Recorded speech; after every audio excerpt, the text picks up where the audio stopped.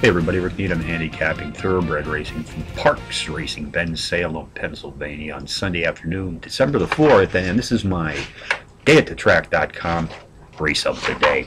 Let's take a look at race 6 this afternoon, folks, 2.31 p.m. Eastern Post Time. It's a mile test on the dirt track.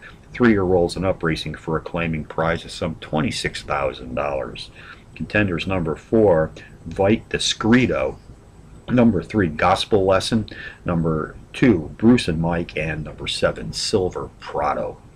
Number four, Vite Decretos, the overall speed leader in this claiming field, racing at the mile distance on the dirt, has hit the board in power run fashion in four of his last five starts overall. Goes to the post with the skills of the jockey trainer tandem of Angel Arroyo and Cathal Lynch in his corner. They've hit the board with 49% of more than 150 entries saddled as a team to date. Number three, Gospel Lesson, has posted a trio of power run place finishes in his last three starts.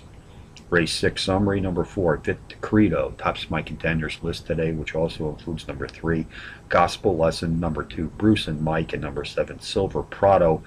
4327 and 6th from Parx Racing. Bonus long shots, Charlestown, race 9, number 5, Working Man Blues, 9 to 2 in the morning line. Speed leader in this claiming field, racing at or about this afternoon's distance of 8.5 furlongs on the dirt. Mountaineer Park, race 9, number 1, The Bulldog, a 4 to 1 shot. Nice overall speed for tonight's 5 and 1 half furlong sprint. So handicapping from Parx Racing, Still, to me, it's Philly Park on a Sunday afternoon. Rick Needham for Day at the Track.com, reminding you, as always, to please bet with your head, not over.